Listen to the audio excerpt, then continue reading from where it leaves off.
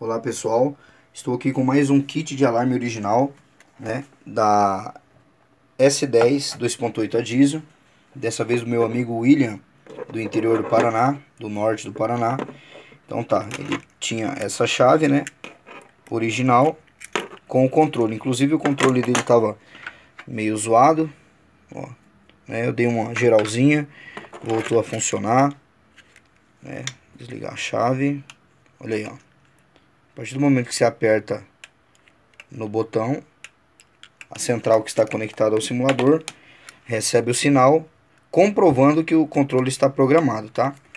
Então tá, original é esse daqui. Então eu fiz esse canivete para ele, botão travar, destravar, também já está habilitado, tá? Laminazinha desenhada, né? Travadinha. Então tá aí, ó. Travar, destravar. Prontinho, William. Só chegar aí, conectar. E se tudo estiver certo aí, os conformes na caminhonete, é chegar e funcionar, tá? Aí, ó. Os dois controles funcionando. Valeu, pessoal. Até mais.